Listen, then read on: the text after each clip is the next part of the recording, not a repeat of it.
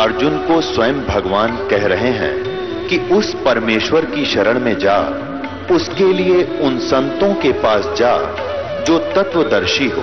इसी प्रकार हज़रत मोहम्मद को उनका अल्लाह कह रहा है कि कोई और पूर्ण परमात्मा है।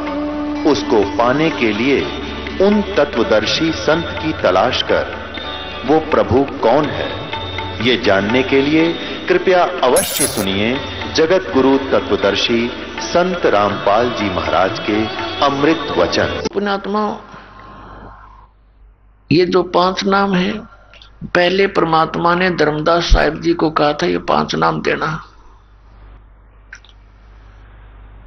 लेकिन अब परमात्मा ने आदेश दिया है कि ये सात नाम देना। पाँच तो है ही है तो इन सात नामों में क्या विशेषता बन गई? कि मान लीजिए आपको सतनाम प्राप्ति हुआ नहीं और आपकी मृत्यु हो जाती है तो ये पहला और लास्ट वाले मंत्र में इतनी शक्ति है कि आपको तुरंत ये मानव शरीर प्रदान करवाएगा। तुरंत। और कहीं जाने की आवश्यकता नहीं, सीधा दसवें महीने बाहर आ लेगा माँ के पेट से, गोदी में यहीं पर। और पहले ये मंत्र इसलिए नहीं दिए जाते थे क्योंकि ये नकली भी मंत्र इसी का शुरू कर देते हैं। और उसमें क्या था मालिक, ये पाँच नाम इसलिए देगी कि इनसे, इनको या संसारिक थोड़े बहुत सुख मिलते रहेंगे, ये गणे दुखी ना होंगे। मोक्ष तो इनसे नहीं हो सकता इस तरह के जाप से। लेकिन समय पर रोटी, कोठी और ये संसारिक व्यवसाय जो तुम समझते हो, ये इससे ठीक चलते रहेंगे। तो इसलिए प्रदान किए जाते थे कि ये इनमें कुछ तो आस्था भगवान की बनी रहेगी, क्योंकि परमात्मा अलग दिखा देता है जो भक्ति करने वाले को कि मुझे आज लाभ भगवान की तरफ़ से हुआ है। ऐसे था। तो उस समय यदि मनुष्य जीवन शीघ्र भी मिल जाता तो भी कोई लाभ नहीं था, क्योंकि सतनाम और सार नाम देने का वो टाइम नहीं था। अब ये समय आ गया सतनाम और सार नाम देने का। और इसमें वैसे तो मंत्र, ये प्रथम मंत्र लेने के बाद भी आपको काल अटैक नहीं कर सकता। आपकी अकाल मृत्यु नहीं हो सकती। आप दास बार बार कहता है कि ये काल का दाव कैसे लगता है कि हम मर्यादाहीन हो जाते हैं, नाम खंडित कर देते हैं। और जिसमें आपका नाम खंडित हो गया और कुदरती आपके प्रारब्ध का, मृत्यु का समय भी निकट आ गया उसी दौरान तो आप पर अटैक हो जाएगा। कुछ एक ऐसे भक्त हैं जो नाम ले लेते हैं, और नाम भी कई बार खंडित कर लिया वो अभी तक जीवित है। तो अभी उनका, वो ठीक का समय ना आया है, वो मृत्यु का समय नहीं होगा, इसलिए दाव लग रहा है। तो पुण्यात्मा, आप जी ने नाम लेने के बाद, मर्यादा को सबसे अधिक महत्व देना है। भक्ति से कम भी हो जा, लेकिन मर्यादा रहे। जैसे आप जी समुद्री जहाज़ में बैठ गए तो जहाज़ में बैठे, जहाज़ चल रहा है, और उससे नीचे उतरने की चेष्टा करोगे तो डूब कर मर जाओगे।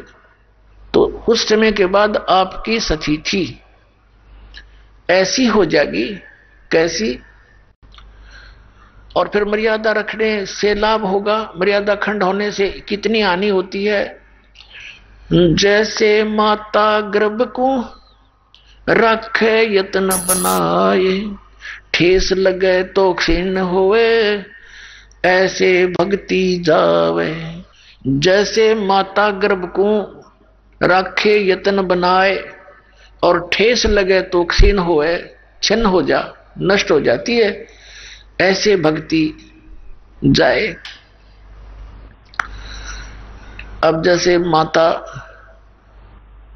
को गर्भ रहा हो, फिर वो कितनी सावधानी बरतती है उस अपने लाल को, बच्चे को, बेटा या बेटी को, जो उसके गर्भ में पल रहा है, उसकी कितनी सावधानी बरतती है कि कहीं मेरा गर्भ खराब ना हो जा। रात को करवट लेती है माता, तब भी उसको चिंता बनी रहती है कहीं मेरे बालक पर दाब ना आ जा। एकदम फड़क के उठती है, चलती है, कदम रखती है, पृथ्वी पर तो भी बड़े नाप तोल के रखती है, कहीं झटका लग जा, बच्चा खराब ना हो जा तो अपना लाल प्राप्त कर लेती है। इसी प्रकार जिस दिन आपको उपदेश मिल गया, उसी दिन आपके अंदर भक्ति का बीज गिर गया, ये सत्कर मान लेना। धीरे धीरे आप भक्ति की सब क्रियाएँ करते रहोगे तो ये भक्ति रूपी लाल आपका अंदर फल, पल रहा है। और इसमें थोड़ी सी मर्यादा हीन हो गए तो ये खंड हो जाएगा। अपने आप अक्षीण हो जाती है भक्ति। तो जैसे इसमें मर्यादा बहुत अनिवार्य है। जैसे सीता जी थी, श्री रामचंद्र की पत्नी वनवास में थे, कुटिया बनाकर रह रहे थे। एक बगीची भी बना रखी थी, छोटी सी फुलवाड़ी सी फूलों की। तो उसमें एक ऐसी कोई घटना घटी इनके साथ, वो लंबी कहानी है, या नहीं बताऊँगा। तो उन्होंने एक रेखा खींच दी थी झोंपड़ी के चारों तरफ़ और सीता से कह दिया था लक्ष्मण जी ने कि माता, वो बड़ी भाभी थी, उसको माता के तुल डील करता था कि आप जी इस रेखा से बाहर ना जाना। जब तक आप इस रेखा में रहोगी, आपको कोई हानि नहीं कर सकता, ना जंगली जानवर कर सकता, ना कोई दानव कर सकता, राक्षस नहीं कर सकता। और वो दोनों भाई फिर मृग के पीछे चले गए थे। एक स्वर्ण मृग दिखाई दिया था, सीता ने कहा था, इसको लाओ, किसी तरह लाओ। अब दोनों भाई चले गए उस सीता के कहने से। पीछे से रावण लंका का राजा एक साधु वेश बना के वहाँ आया सीता को उठाने के उद्देश्य से, अपहरण करने के उद्देश्य से। और जो ही वो निकट गया, उसने कहा कि माई, भिक्षा देना। तो सीता ने कहा, आ जाओ महाराज, कुटिया के निकट आकर ले जाओ। वो जो ही आगे को बढ़ा, रेखा के निकट आते, उसमें से अग्नि की लपट निकली। दस कदम पीछे रावण भाग कर गिरा और कहा कि तुम साधु संतों के साथ ऐसा व्यवहार करते हो? भिक्षा देनी है तो बाहर आकर दे दे। अब सीता ने अपनी जीव सोच से सोचा था, के फ़र्क पड़े है? साधु है, अभी दे आती हूँ भिक्षा, अभी आ जाती हूँ वापस। अब वह भिक्षा लेकर बाहर को चली, रेखा पार कर गई और जो ही भिक्षा डालने लगी, उसने बाजू पकड़ ली यहीं से और गेर ली कंधे पे जा पिटकी नौ लखा बाग में। उसकी जरा सी लगी, क्या फ़र्क पड़े? और के नाश करा दिया उसने। वो मूर्ख से तो ये कह कर गए थे, इससे बाहर मत जाना। तेरे को हानि हो जाएगी। और फिर कितना नाश कराया, करोड़ों व्यक्ति मारे गए। तब उसको छुटवा के लाए। तो पुण्यात्माओं ऐसे ये मर्यादाएँ हैं। ये लक्ष्मण जैसी रेखा समझ लेना जो मालिक ने बता रखी है। आन उपासना नहीं करनी। बीड़ी शराब मांस को छूना भी नहीं है। किसी और देव पर आसक्त नहीं होना, हमने पति भरता पद पर आना है। जैसे जो पति भरता पति से राती आन पुरुष नहीं भावे। बस पीहर में सुरत परितम में ऐसे ध्यान लगावे। पति भरता पत्नी अपने पति के अतिरिक्त किसी भी पुरुष से वो किसी प्रकार का भी उसको कोई वस्तु वांछित नहीं होती। कहने का भाव यह है, चाहे कोई सोने का, स्वर्ण का बन करके पुरुष खड़ा हो जा, उसमें उसका पति वाला भाव नहीं हो सकता।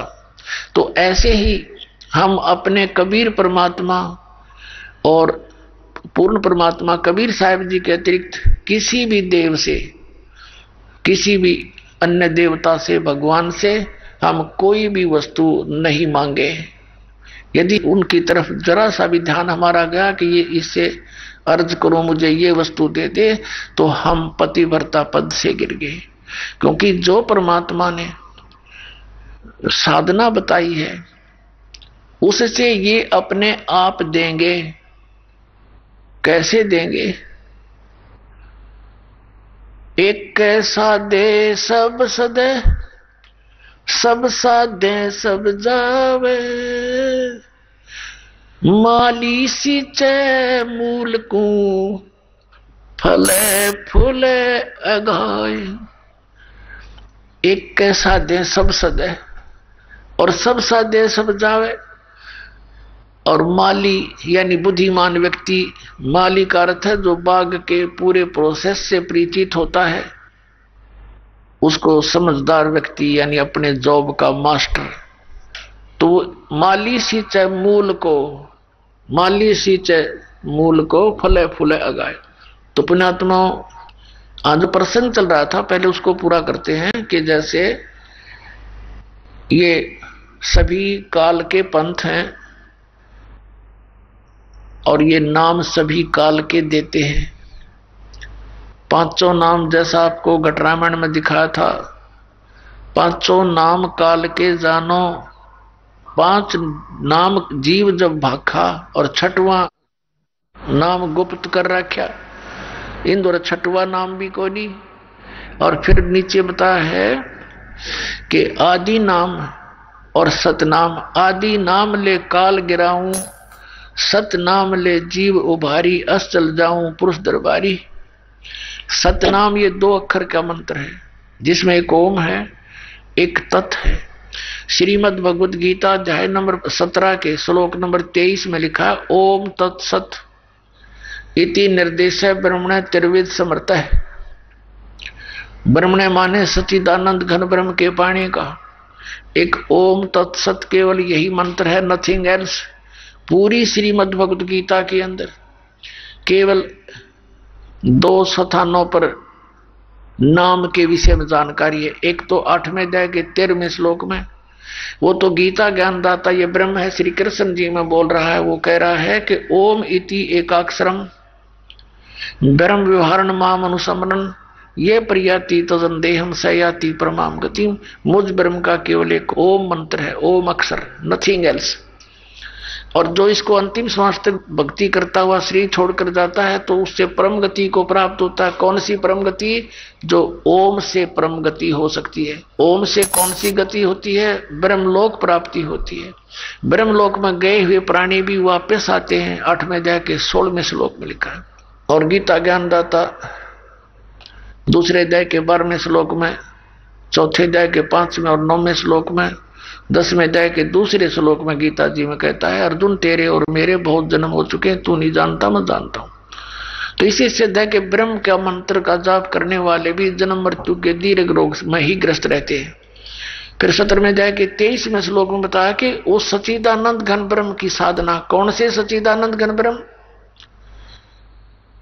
आठवें अध्याय के प्रथम मंत्र में अर्जुन ने पूछा कि, हे प्रभु, आपने सातवें अध्याय के उनतीसवें श्लोक में, जिस तत्ब्रह्म के बारे में कहा है कि उस तत्ब्रह्म को जानकर, सारे अध्यात्म ज्ञान को जानकर, और सभी कर्मों से परिचित व्यक्ति केवल जरा और मरण से छूटने का ही प्रयत्न करता है, जरा माने बुढ़ापा और मरण माने मृत्यु। तो आठवें अध्याय के प्रथम श्लोक में पूछा, फिर किम तत्ब्रह्म? वो तत्ब्रह्म क्या है? अध्यात्म क्या है? और ये कर्म क्या है? आठवें अध्याय के तीसरे श्लोक में गीता ज्ञान दाता ने कहा, वो परम अक्षर ब्रह्म है। वो गीता ज्ञान दाता से अन्य है। और चौथे अध्याय के बत्तीस और चौतीस श्लोक का ये निष्कर्ष है कि बताया है कि जो धार्मिक अनुष्ठानों की जानकारी है, वो सचिदानंद गण ब्रह्म की वाणी में विस्तार से कही गई है। ब्रह्मणे मुखी शब्द है, मूल पाठ के अंदर चौथे अध्याय के बत्तीसवें श्लोक में। तो मूल पाठ में है ब्रह्मणे मुखी। इन्होंने अनुवाद गलत कर दिया वहाँ पर, गीता अनुवादकर्ताओं ने। वेद की वाणी कर दिया। अरे भले आदमियों ब्रह्म ने वेद होता है, ब्रह्म तो भगवान होता है। जैसे और वेद उसका संविधान है, जैसे राजा और संविधान में जो अंतर है। राजा का अर्थ कोई संविधान करता है तो कितना बुद्धिमान होगा? कति मूर्ख है। तो ब्रह्म ने मुखे माने सचिदानंद गण ब्रह्म ने अपने मुख कमल से जो ज्ञान उच्चारण किया वो सूक्ष्म वेद है। जो कबीर परमेश्वर ने अपनी वाणी में बोला और धर्मदास जी ने लिपिबद्ध किया, उसको सूक्ष्म वेद कहते हैं, कबीर वाणी है वो।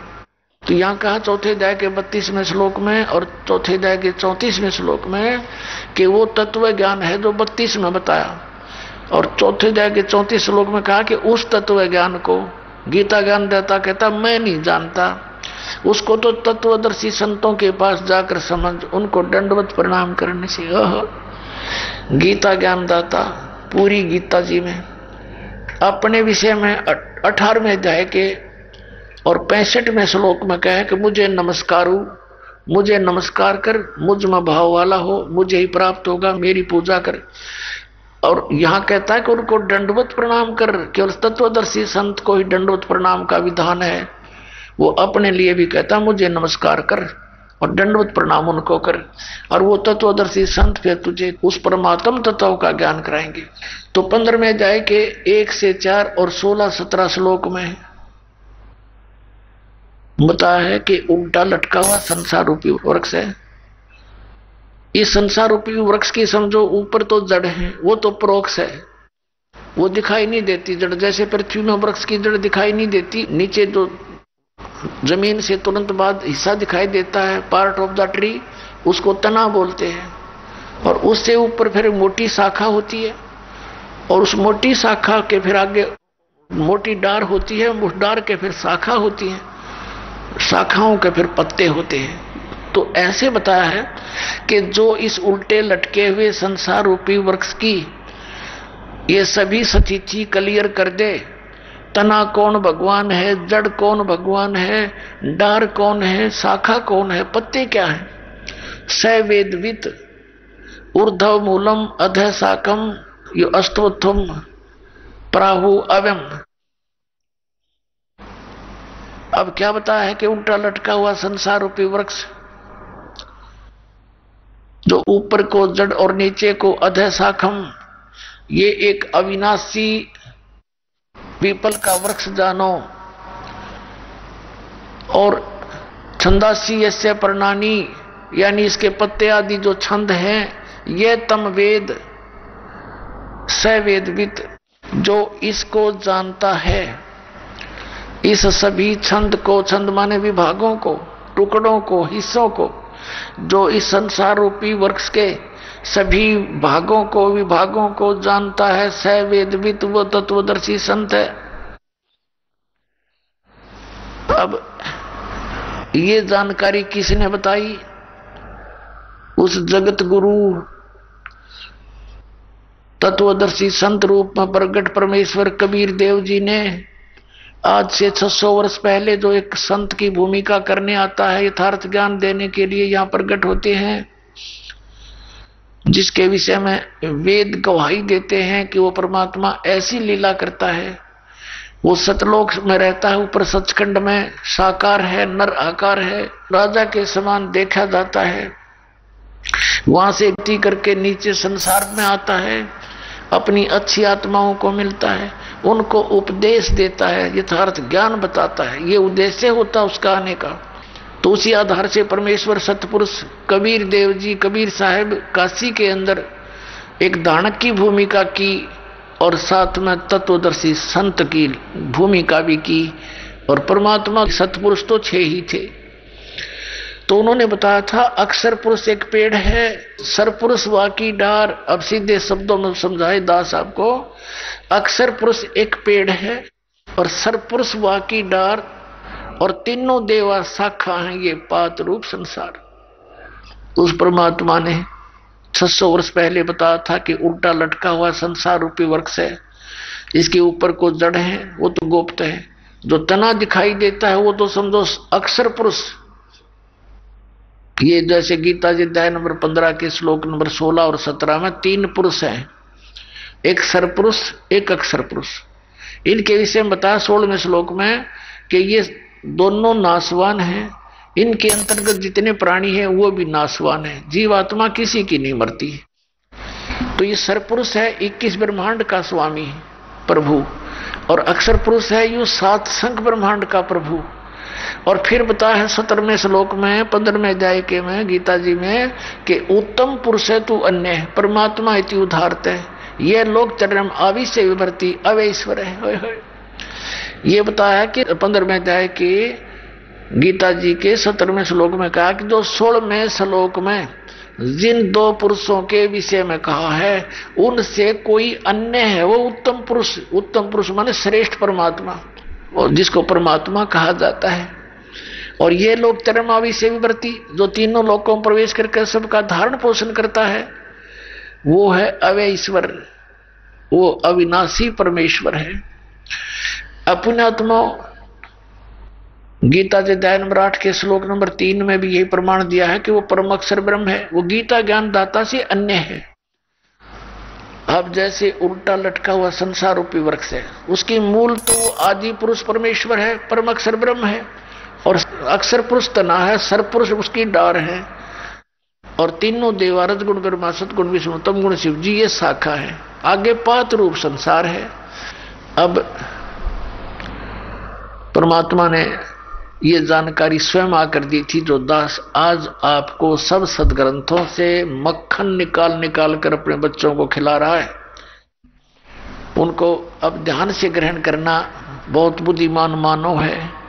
संकेत को भी समझ लेना चाहिए। छोटे छोटे बच्चे इतने बड़े बड़े कंप्यूटरों को चला लेते हैं, इतनी मोटी मोटी किताबों को दस दसों को याद करते हैं। ये छोटी सी बात। वो जो आप अन्य पढ़ाई पढ़ रहे हो वो भी अच्छी बात है क्योंकि उसके बिना ये भगवान का ज्ञान समझ में आवे नहीं। लेकिन वो तो पेट तक सीमित है कल मृत्यु हो जाए वो कुछ काम ना आवे। और ये हमारे सदा काम आओगे यहाँ भी मृत्यु नहीं होने दे साथ रहेगा भगवान की भक्ति तो ये प्रथम होनी चाहिए थी हमारे लिए। ये हमने तो, ये तो कति रद्दी के टोकरे में डाल रखी है जो एक नंबर का काम था। ये बिना ज्ञान के। अब उस परमात्मा ने बताया है। इसमें एक तो ये कंसेप्ट क्लियर कर दिया कि तत्वदर्शी संत की क्या पहचान है, जो उल्टे लटके हुए संसार रूपी वृक्ष के सभी छंद विभाग बता देगा सवेदवित वो वेद के तात्पर्य को सही जानता है। वो तत्वदर्शी संत है। तो वो तत्वदर्शी संत स्वयं परमेश्वर थे। या उसके बाद जो महापुरुष उनके संपर्क में आए, परमात्मा से परिचित हुए, उनको भी यही ज्ञान और नाम प्राप्त हुआ था।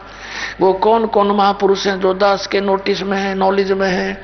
आदरणीय धर्मदास साहेब जी, आदरणीय मुल्कदास साहेब जी, आदरणीय दादू साहेब जी, आदरणीय नानक साहेब जी, आदरणीय गरीबदास साहेब जी, गाँव छुड़ानी जिला दद्दर हरियाणा वाले। आदरणीय घीसा दास साहेब जी, गाँव खेकड़ा जिला मेरठ, उत्तर प्रदेश वाले। इनको तो परमात्मा सीधे मिले थे, सचखंड दिखाया था, अपने सतलोक से परिचित कराया। ये वास्तविक नाम उनको दिया कि तुम जाप करो इस मंत्र का, वो सतनाम का, दो अक्षर के का। और सार नाम भी उनको बताया। लेकिन अभी इसको किसी अन्य को शेष को नहीं देना। नहीं तो नकली पंथों का ये हाथ लग गया तो बात बिगड़ जाएगी। मेरा प्रोमिस है इसके साथ, काल के साथ के पिछली पीढ़ी में मैं हंस ले जाऊँगा। और बीच में अगर तुमने ये डिस्क्लोज कर दिया तो ये काल के दूत भी यही मंत्र दिया करेंगे। ये अधिकारी है नहीं, इससे कोई लाभ नहीं होना इन प्यारी आत्माओं को। ये भी ये सोचेंगे, हमारे गुरु जी भी वही साधना देते हैं। अन अधिकारी से प्राप्त मंत्र का लाभ, जाप करने से भी यूजलेस है, कोई लाभ नहीं होगा। जैसे कोई ड्राइविंग लाइसेंस ले लो, एक छोटी सी बात है। ये चालक परिणाम पत्र। ये भी अगर डुप्लीकेट हो ना जो पकड़ा जाएगा किसी दिन दुर्घटना हो जा इतफाक से। फिर वहाँ चेक होगा कि डुप्लीकेट लाइसेंस था, सीधी सजा उसकी डबल सजा। तो इसी प्रकार इन नकलियों से डुप्लीकेट लाइसेंस भी अगर बनवा लिया जाए, यानी नाम ले लिया तो भी अनधिकारी होने से फिर आगे मार पड़ती इनके ऊपर। तो इसलिए उनको कह दिया था भी ज़िक्र नहीं करना। तो या तो परमात्मा आए थे छह सौ वर्ष पहले और या इस दास को अलाउड कर दिया कि इसको सार्वजनिक करो। और ये दास भेज दिया, तत्वदर्शी संत बनाकर उस परम पिता कबीर भगवान ने। अब इस दास पर रहम किया परमात्मा ने आपके लिए कि अब खोल दे सारे पिटारे को, खजाना खोल दे मेरे बच्चों के सामने, कल आपने सामने पढ़ा कि सभी पूरी सृष्टि परवानिक हुई, पूरी सृष्टि का मानव इस सतनाम को ग्रहण करेगा, इसके पास कोई विकल्प नज़र नहीं आओगा इस ज्ञान के आधार से। और सभी पार होएँगे, सभी सतलोक जाएँगे, इसलिए इंतज़ार किया।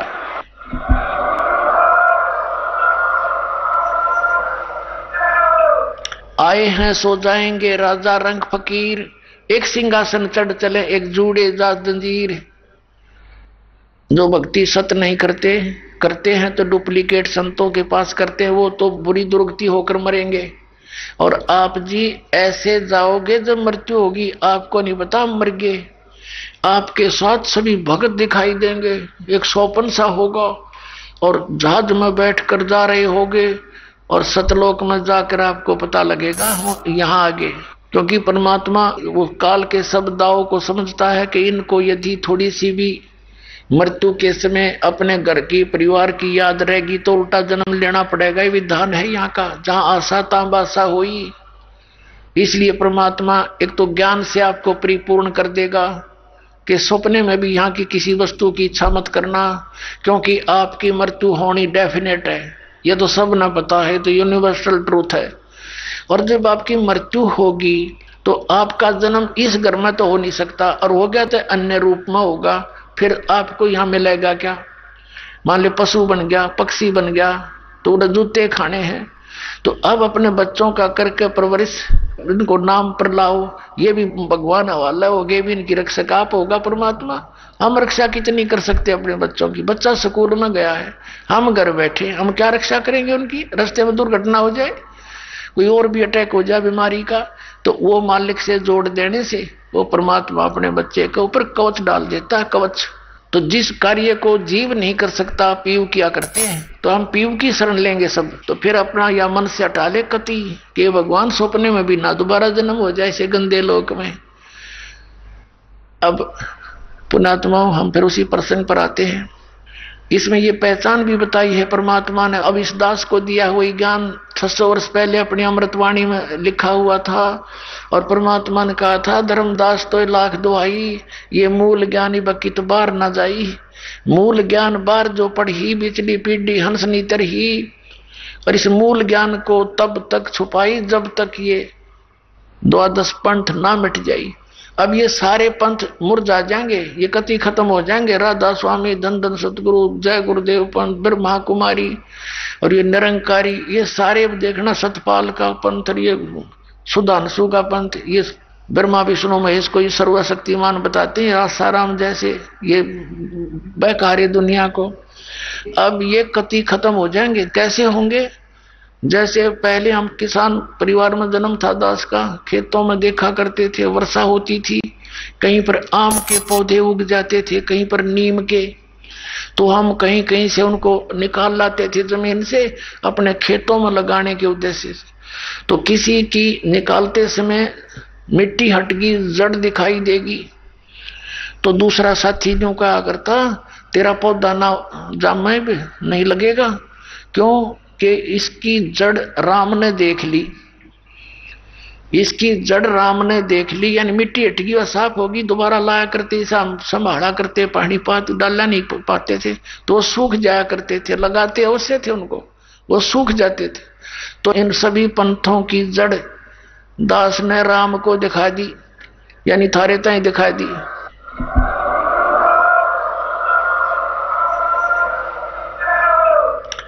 अब ये सारे मुरझा जाएँगे कुछ दिनों में देख लियो। टोल के टोल आवेंगे इन झुंड के झुंड रोते आया करेंगे। अब कितने दिन रोकेंगे इनको झूठ बोल बाल के, झूठे आदेश दे करके? सबको भगवान चाहिए, सबको मोक्ष की आवश्यकता है, सबके घरों में दुख है।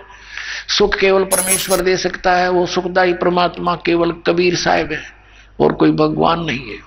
अब प्रसंग चल रहा है कि इसमें एक पहचान बताई है कि उल्टे लटके संसार रूपी वृक्ष के सभी भाग बता देगा वो तत्वदर्शी संत है। फिर पंद्रहवें अध्याय के चौथे श्लोक में कहा कि तत्वदर्शी संत की प्राप्ति के उपरांत परमेश्वर के उस परम पद की खोज करनी चाहिए। जहाँ जाने के बाद साधक फिर लौटकर कभी संसार में नहीं आता। ये है वो पूर्ण मोक्ष।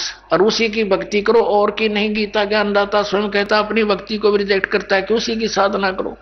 फिर पंद्रहवें अध्याय के सत्रहवें श्लोक में बताया कि उत्तम पुरुष तो अन्य है, जो सोलहवें श्लोक में सर्व पुरुष और अक्षर पुरुष के विषय में जानकारी है, उनसे भी अन्य है वो परमात्मा। और उस तीनों लोकों में प्रवेश करके सबका धारण पोषण करता है। यानी पूरे के पूरे वृक्ष को जड़ से आहार मिलता है, जो टहनियों तक जाता है। और पत्तों तक। तो इसी प्रकार सबका पोषण करने वाला मूल है, वो जड़ है वृक्ष की। तो मूल परमात्मा सतपुरुष है, वो कबीर देव है। उस कबीर परमेश्वर से ही सब पूरे ब्रह्मांडों को आहार मिलता है, उसी से ये सब अपनी कर्म वर्क डन सभी वहीं से मिलता है और सभी का वो एकमात्र दाता है। अब प्रसंग चल रहा है कि आठवें अध्याय के एक, में अर्जुन ने प्रश्न किया, उसका उत्तर दिया आठवें अध्याय के तीसरे श्लोक में। अर्जुन ने पूछा, किम तत्परम? जो आपने सातवें अध्याय के उनतीसवें श्लोक में बताया गीता में, कि उस तत्परम को जानकर केवल प्राणी जरा मरण से ही छूटने का प्रयत्न करता यहाँ की किसी वस्तु में इच्छा नहीं रखता, वो किम तत्परम? आठवें अध्याय के तीसरे श्लोक में कहा है कि वो परम अक्षर ब्रह्म है। अब पंद्रहवें अध्याय के सत्रहवें श्लोक में वो ब्रह्म की तरफ़ कहा है। आठवें अध्याय के तेरहवें श्लोक में गीता ज्ञान दाता कहता, मेरा तो केवल एक ओम अक्षर है नथिंग एल्स फिर सत्रहवें अध्याय के तेईसवें श्लोक में बताया है कि उस परम अक्षर ब्रह्म के पाने का ओम तत्सत इति निर्देश है ब्रह्मण त्रिविध समर्थ है। उस सचिदानंद घन ब्रह्म यानी परम अक्षर ब्रह्म की साधना का, उसके पाने का, ये ओम तत्सत केवल यही मंत्र है नथिंग एल्स और इसकी तीन त्रिविध समर्थ है। ये तीन प्रकार से सिमरण विधि है इसकी। और इस दास के अतिरिक्त 21 ब्रह्मांड में इस नाम से परिचित नहीं है कोई प्राणी। तो कितने संत पड़े फिरते नकली। इनके पास खक नहीं है। ये समाज के जीवन नाशक है।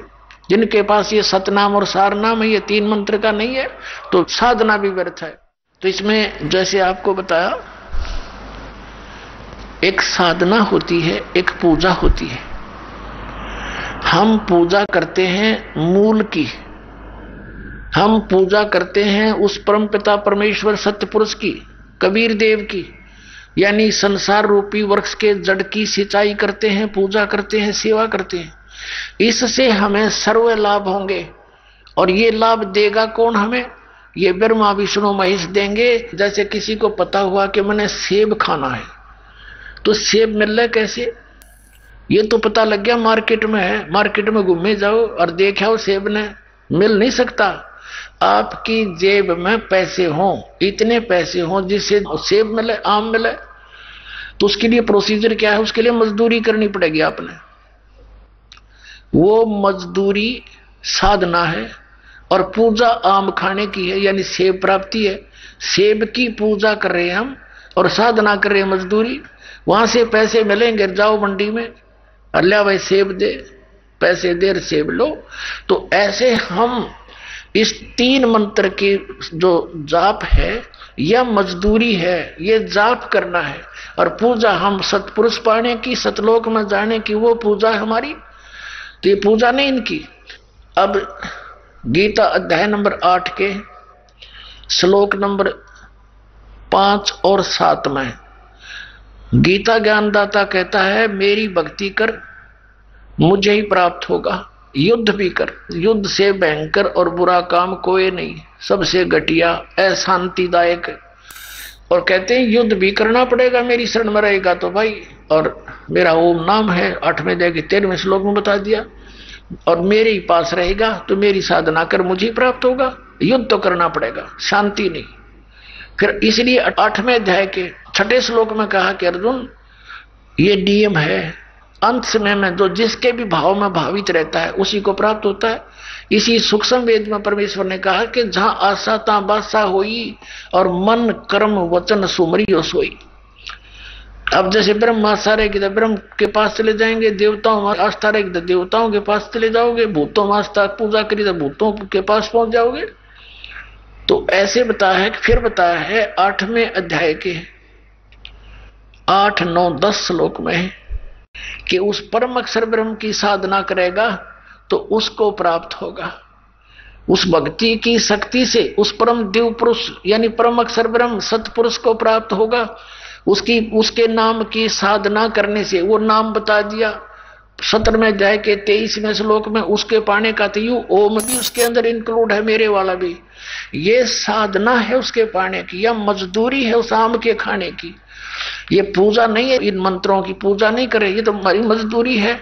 ये तो बुक की और पाइप है, जिस दिन ठोक ठोक का पानी तक पहुंचावाएँगे और हैंड पंप लगा कर अपना पानी पीवाएँगे। ये तो विधि है इसको पाने की। अब ये है वो तरीका परमेश्वर के पाने का। उस जल पानी, नीर को पाने का, अकाल मूर्त सब स्वरूपी राम को पाने का। अब प्रसंग ये भी चला था कि हम एक सह परिवार में रह रहे हैं। ये हमारी ज्वाइंट फैमिली है। और इसमें हम सबका आदर सत्कार करेंगे, लेकिन पूजा अपने पति की करेंगे। फिर क्या बताया कि एक के साथ सब सद है। हम एक की पूजा करेंगे, जड़ की, मूल की। उसके साधने से, उसकी साधना करने से सब सद है। ये सारा पौधा, पेड़ बनकर हमें फल फूल से लदपद हो जाएगा। जैसे आप आम का पौधा लाए नर्सरी से। उसको कैसे बीजोगे? गड्ढा बनाओ ज़मीन में और उसकी जड़ को ज़मीन में गाड़ो और फिर उस जड़ की पूजा शुरू करो, सिंचाई शुरू कर दो। तो धीरे धीरे धीरे धीरे पौधा पेड़ बन जाएगा और पेड़ के फिर बताई परमात्मा ने कि अक्सर पुरुष एक पेड़ है, तना जो बाहर खाई देता वो पूरा वृक्ष है। अक्सर पुरुष एक पेड़ है, निरंजन वा की डार, यानी सर पुरुष वा की डार, और तीनों देवा शाखा है, ये पात रूप संसार। ये देखिएगा। गीता जी अध्याय नंबर पंद्रह का, श्लोक नंबर एक से चार और सोलह सत्रह का एक निर्णायक ज्ञान है, जो इस चित्र से आसानी से समझ में आएगा आपको। आसानी से समझ में आएगा आपके। अब देखिएगा ये है पूरा संसार रूपी वृक्ष। और ये जो ज़मीन से बाहर दिखाई देता है, ये समझो आपने पेड़ दिखाई दे रहा है। तो अक्सर पुरुष ये परब्रह्म कहलाता है। ये तो समझो तना है। और ये सरपुरुष वा की डार ज्योत निर्धन जिसे कहते हैं सरपुरुष वा की डार और तीनों देवा शाखा हैं। ये तीनों देवा शाखा है, ये पात्र संसार है। रजगुण, ब्रह्मा, सतगुण, विष्णु तम गुण, शिव जी तो ये शाखा है संसार रूपी वृक्ष की। और ये पात्र रूप संसार हम यहाँ पर आगे हैं इससे। और ये मूल कौन है? ये परम अक्षर ब्रह्म है। ये पूर्ण ब्रह्म है, सतपुरुष है परम अक्षर ब्रह्म है, ये कबीर देव है, कबीर साहब है। अब यहाँ देखिएगा इसके। ये परम अक्षर ब्रह्म है, पूर्ण ब्रह्म इसको परम परमेश्वर कहो, परम अक्षर ब्रह्म कहो। ये जड़ पूरे संसार का मूल है, जिससे सबको आहार प्राप्त होता है। और ये नीचे तीनों गुण रूपी, रजगुण, ब्रह्मा सतगुण विषमतम गुण, शिव जी रूपी ये शाखा है। अब यहाँ परमात्मा ने अपनी अमृतवाणी में कहा था, कबीर अक्षर पुरुष एक पेड़ है, निरंजन वा की डार सरपुरुष निरंजन कहो सरपुरुष कहो। और तीनों देवा शाखा है भाई पाते रूप संसारी। अपने आत्मा हमने एक का साध्य सब सद, सब साध्य सब जावे। शास्त्र विदिता का मनमानी पूजाएँ शुरू कर दी हमने। ब्रह्मा, विष्णु, महेश की साधना शुरू कर दी। कोई ज़्यादा से ज़्यादा मुश्किल से ब्रह्म की साधना तक पहुँचते हैं। अभी तक ये ऋषि, मैं ऋषि तो ये सारी शास्त्र विरुद्ध साधना इनकम्प्लीट साधनाएँ थी, जिस कारण से इनका मोक्ष नहीं हुआ, इनको प्रभु प्राप्ति हुई नहीं, फल प्राप्ति हुई नहीं, इनके जीवन नष्ट हो गए। तो क्या किया इन्होंने? जैसे हमने पौधा कैसे बीजना चाहिए देखिएगा। हमने पौधे को गड्ढा बना के और ऐसे बीजना था। और फिर इसकी पूजा करनी थी जड़ की। जड़ की पूजा करनी थी, हम पानी डाल रहे हैं इसमें तो ये सारा जड़ से, मूल से आहार पूरा तना में, ये अक्षर पुरुष में, अक्षर पुरुष से डार, ज्योत, निरंजन, सर पुरुष सर पुरुष में, ब्रह्म में, और ब्रह्म से, यानी सर पुरुष से फिर तीनों शाखाओं में, रजगुण, ब्रह्मा, सतगुण, विष्णु तम गुण, शिव जी में, और फिर यहाँ इन टेनियों का फल लगने थे। अब हमने क्या कर दिया? टेनियों का फल लगे देखकर इन की पूजा शुरू कर दी, ये देखिएगा। हमने ऐसी पूजाएँ शुरू कर रखी हैं। ये है शास्त्र विधिता कर्मन मनमाना आचरण, उल्टा बीजा हुआ पौधा। तो परमात्मा कहते हैं, एक कैसा दे सब सदे सब साधे, सब जावे। माली सींचे मूल को फुले फुले गोई। हम ऐसे कर रहे हैं, ब्रह्मा विष्णु महेश की पूजा करते हैं। परमात्मा ने कहा था, तीन देव की जो करते भक्ति, उनकी कदे ना हो मुक्ति। गुण तीनों की भक्ति में ये भूल पड़ो संसार। कहे कबीर, निज नाम बिना कैसे उतरो पार? अब परमात्मा ने यही कहा था और दास भी यही प्रार्थना करता है। कई भक्त कहते हैं, जो प्रथम बार हमारे भक्तों से सुनते हैं तो एकदम नाराज़ हो जाते हैं कि तुम्हारे गुरु जी तो ब्रह्मा, विष्णु, महेश की साधना छुड़वाते हैं। हम नहीं सुनते उनकी बातों को। हमें बड़ा ठेस पहुँचता है। भले पुरुषों पूरा ज्ञान सुनो अच्छा लगे तो ग्रहण करो। एक एक सेंटेंस सुन लेने से पूरा कंप्लीट ज्ञान नहीं होता। तो इस प्रकार दास क्या कहता है कि तुम इस ब्रह्मा, विष्णु, महेश की पूजा करते हो, टहनियों की पूजा कर रहे हो। जिस कारण से आपका भक्ति रूपी पौधा सूख गया, कोई लाभ आपको प्राप्त नहीं होता। ये दास क्या कहता है, किसी को छोड़ना नहीं। ब्रह्मा विष्णु महेश को हम छोड़ नहीं सकते क्योंकि ये संसार रूपी वृक्ष की वो शाखा है जिनका फल लगेंगे। अब क्या बताया है? गीता जी अध्याय नंबर तीन के और श्लोक नंबर दस से लेकर पंद्रह तक स्पष्ट किया है कि इन देवताओं को तुम शास्त्र अनुकूल साधना करके इनको बढ़ाओ और यज्ञ धार्मिक अनुष्ठान करो। और यज्ञ से बड़े हुए यज्ञ माने शास्त्र अनुकूल साधना, भक्ति, कर्म, धार्मिक अनुष्ठान, शास्त्र अनुकूल करने से और मूल परमात्मा को इष्ट मानकर पूजा करने से फिर ये देवता तुम्हें बिना मांगे फल देंगे। अब जैसे हम शास्त्र अनुकूल साधना करेंगे और पूर्ण परमात्मा जो सारे संसार का मूल है, उसकी पूजा करेंगे, उसको इष्ट रूप में पूजेंगे तो उससे ही सारे कर्म शास्त्र अनुकूल, भक्ति कर्म बनकर माँ विष्णु महेश्वर के पास आवेंगे ये तो कलर्क समझो हमारे यहाँ के परमात्मा के, और ये हमें फिर आगे फल देंगे, जितने जिसकी वर्क डन है, कमाई है, सारा कुछ कमाई जोड़ जाड़ के, सारे मेहनत, सारे तनख्वाह पूरे महीने की कलर कैशियर के पास आ जाती है। और जाकर सब वहाँ कैशियर से लेते हैं, लेकिन वो मेहनत उसने जहाँ कर रखी है, उतनी हाजिरी मिलेंगी, उतनी तनख्वाह मिलेगी। वो कैशियर उसमें घटा बढ़ा नहीं सकता। एक नया पैसा भी कम नहीं कर सकता आपका। तो ये सतीथी अगर माँ विष्णु महेश की तुम लागे कैसिर की पूजा करने, और वो जहाँ पूजा, जहाँ मेहनत करनी थी, वह नौकरी छोड़ दी, जहाँ से वो तनख्वाह बनका हुआ थी। अब देखना श्रीमद भगवत गीता इसके जयदयाल गोविंद का अनुवादक है। गीता प्रेस गोरखपुर से प्रकाशित है। इसके अध्याय नंबर तीन के श्लोक नंबर दस।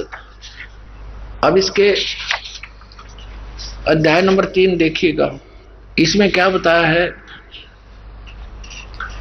श्रीमद भगवद गीता और इसके श्लोक नंबर हम चार में देखते हैं।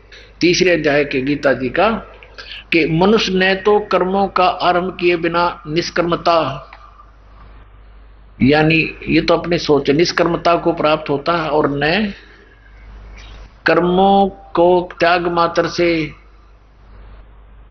सिद्धि, यानी कोई सिद्धि को प्राप्त होता है, जिसके कार्य सिद्ध ना हो, सांख्य योग निष्ठा, ये नहीं। पाँचवें में क्या कहा है कि निसंदेह कोई भी मनुष्य किसी भी काल में क्षण मात्र भी बिना कर्म किए नहीं रहता। क्योंकि सारा मनुष्य समुदाय प्रकृति जनित गुणों द्वारा परवश हुआ कर्म करने के लिए बाध्य किया जाता है। अब छठे में क्या कहा?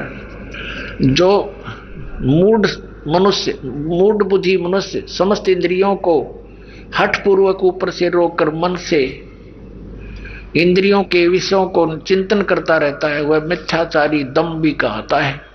यानी जो एक स्थान पर बैठकर हठ योग करता ढाई घंटे सुबह, ढाई घंटे शाम, ने कहते वो बकवाद कर रहा है, वो तो अपने पता नहीं कि क्या सोचा है। ये कभी हो ही नहीं सकता कि यहाँ कोई ऐसी कोई साधना करके सफल हुआ हो। आगे देखो सातवें में वो तो पाखंडी कहा जाता है, किंतु ये अर्जुन जो मन से इंद्रियों को वश में करके अनासक्त हुआ समस्त इंद्रियों द्वारा कर्म योग का आचरण करता हुआ, यानी काम करते करते और मन न रोक के बकवादा ना ला के भक्ति करे, कर्म योग, यानी काम करते करते साधना करना नॉन एज कर्म योग आचरण करता हुआ श्रेष्ठ है।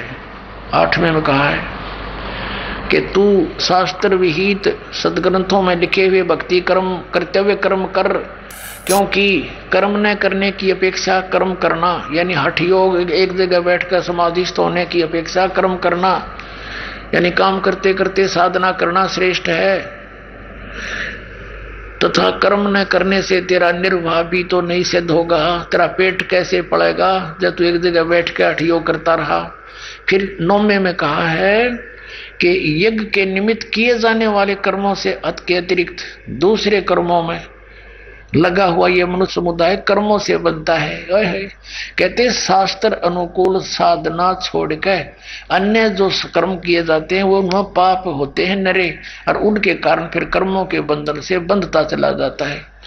इसलिए अर्जुन आसक्ति से रहित होकर उस यज्ञ के निमित्त कर्तव्य कर्म कर, यानी कर्ण योग्य शास्त्र अनुकूल साधना कर। आगे देखो। अब दसवें में क्या कहा है कि शास्त्र विधि अनुकूल साधना करने वाले के विषय में कहा कि प्रजापति ब्रह्मा ने कल्प के आदि में यज्ञ सहित प्रजाओं को रचकर कहा था, तुम लोग इस यज्ञ के द्वारा, यज्ञ माने धार्मिक शास्त्रों को साधना, धार्मिक अनुष्ठानों के द्वारा वृद्धि के प्राप्त हो, तुम्हें भी लाभ मिलेगा यथार्थ।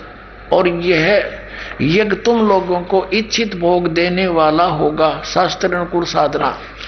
ग्यारहवें में कहा है कि इस यज्ञ के द्वारा देवताओं को उन्नत करो और वो देवता तुम लोगों को उन्नत करें। इस प्रकार निस्वार्थ भाव से एक दूसरे को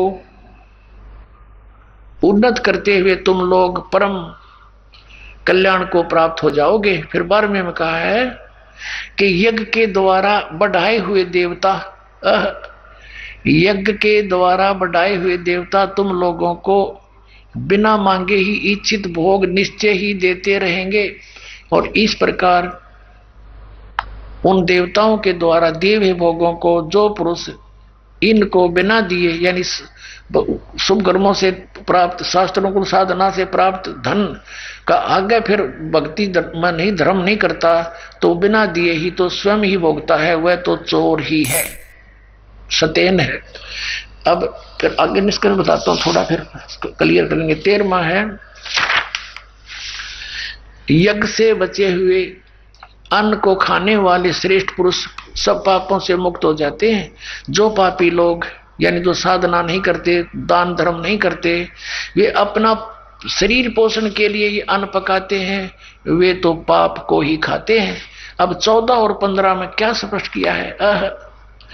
यहाँ लिखा है ये चौदह और पंद्रह इकट्ठा ही है।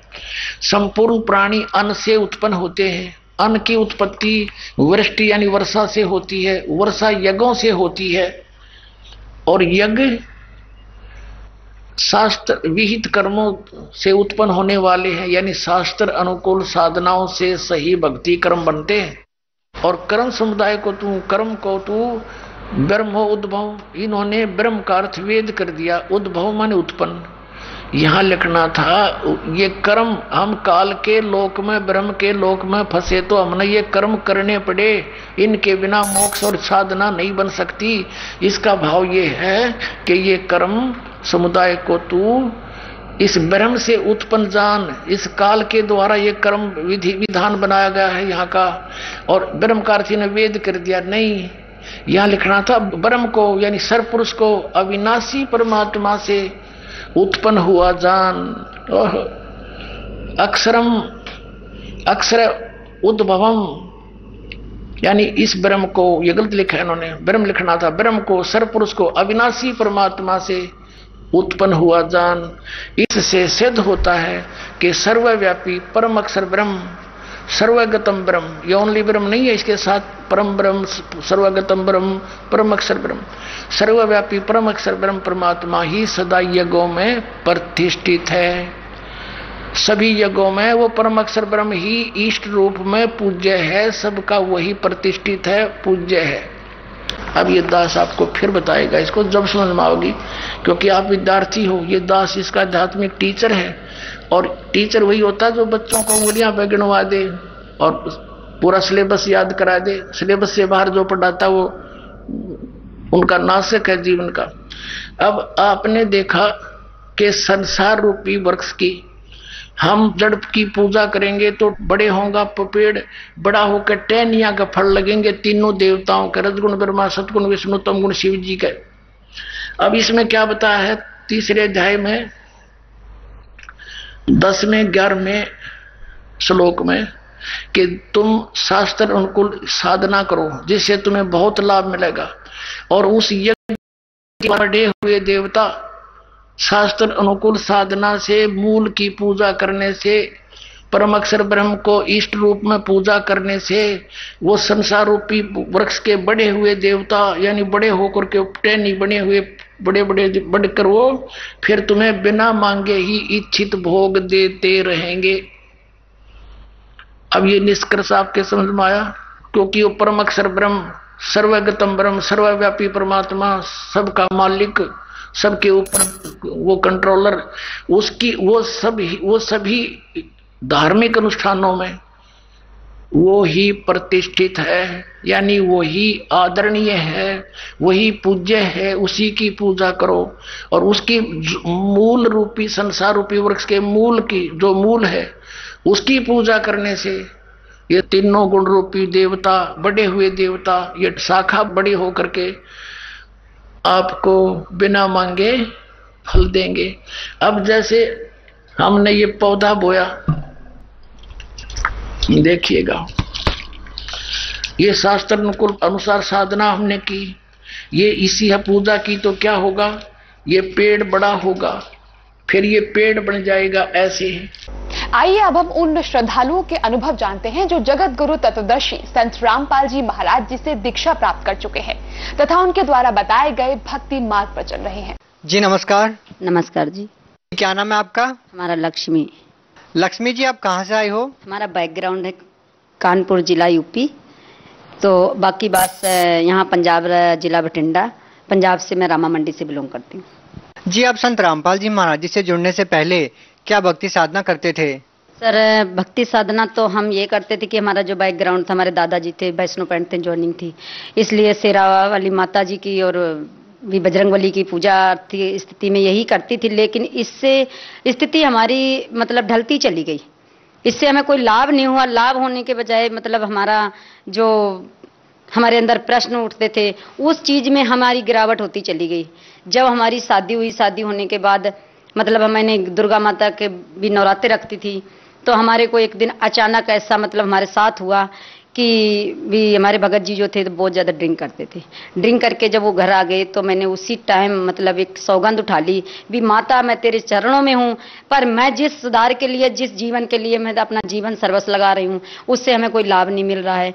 तो मैंने उनका जो भी था, मैंने सारा सामान उठाया और नहर में तैरा दिया। भी आज के बाद अगर जीवन में भक्ति करूँगी तो सच्चे परमात्मा की करूँगी, नहीं तो फिर मैं जीवन अपना ऐसे ही व्यर्थ गमा दूँगी। बहन जी, पहले जो आप भक्ति करते थे, उन भक्ति को करने से आपको कोई लाभ नहीं मिला। तो फिर आप संत रामपाल जी महाराज जी की शरण में कैसे आए?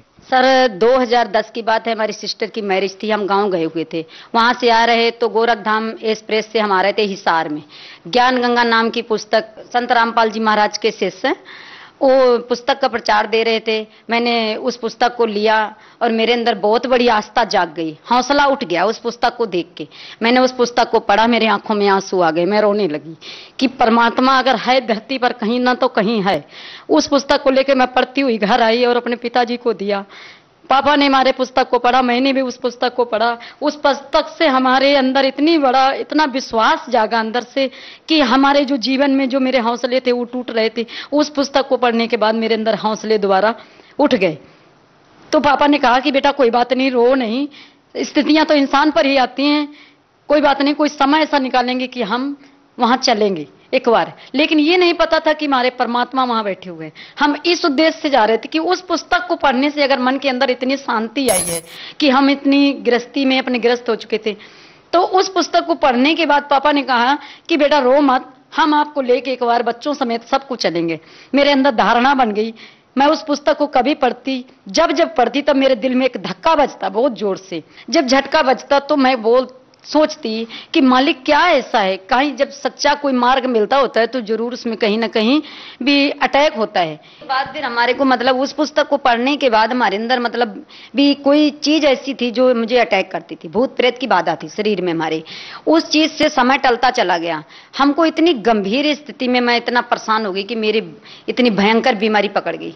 जब डॉक्टरों ने मुझे जवाब दे दिया कि इसकी सेवा पानी करो और आप घर ले जाओ। इसका समय शेष नहीं है। संत रामपाल जी महाराज की शरण में हमको लेके गए। हम परमात्मा गुरु राम संत रामपाल जी महाराज की शरण में पहुँचे और उपदेश लिया और हमारे को बीमारी से निजात मिला। बहन जी संत रामपाल जी महाराज से नाम दीक्षा लेने के बाद अचानक ऐसा क्या हुआ कि आपकी सारी बीमारी दूर हो गई? संत रामपाल जी महाराज से नाम दीक्षा लेते ही तो मुझे पहले सब सारे शास्त्रों का ज्ञान मिला। सत भक्ति मिली।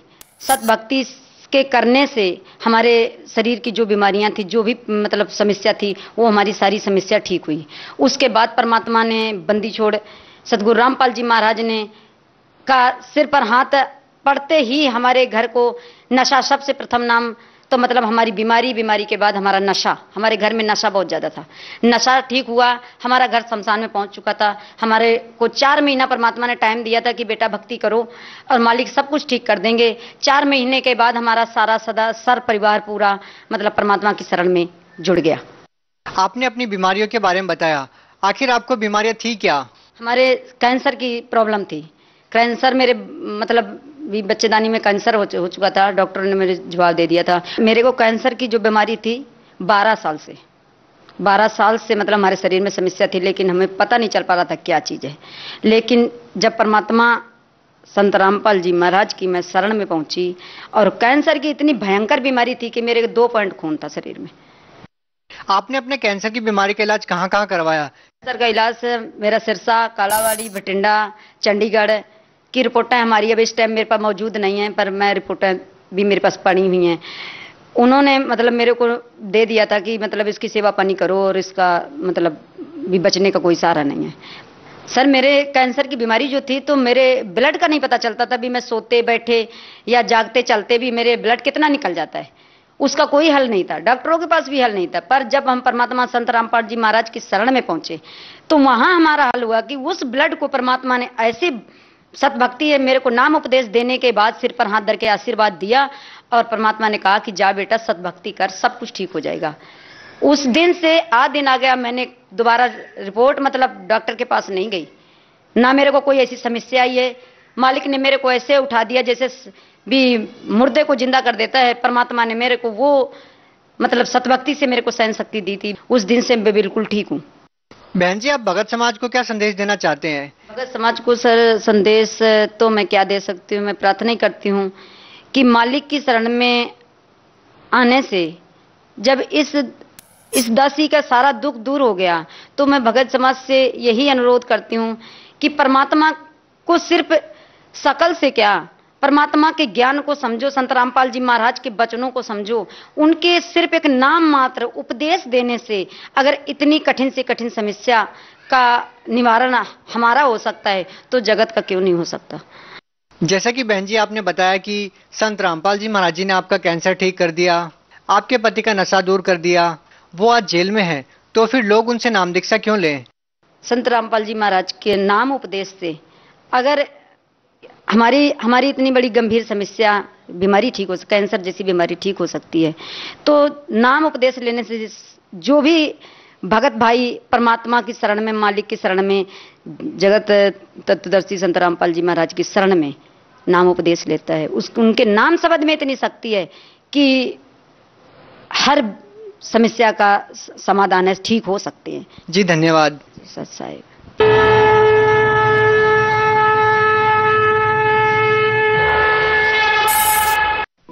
आप सुन रहे थे जगत गुरु तत्वदर्शी संत रामपाल जी महाराज के मंगल प्रवचन। अधिक जानकारी के लिए संपर्क करें। आठ दो दो दो आठ आठ शून्य पाँच चार एक। आठ दो दो दो आठ आठ शून्य पाँच चार दो। आठ दो दो दो आठ आठ शून्य पाँच चार तीन। आठ दो दो दो आठ आठ शून्य पाँच चार चार। हमारी वेबसाइट है W W W dot Jagat Guru Rampal ji dot O R G.